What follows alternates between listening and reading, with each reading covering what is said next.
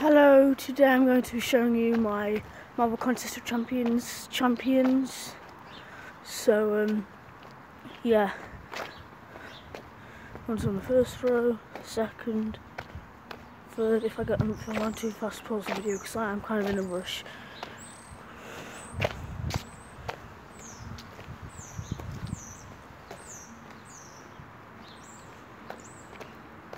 And that is it. Remember to like and subscribe.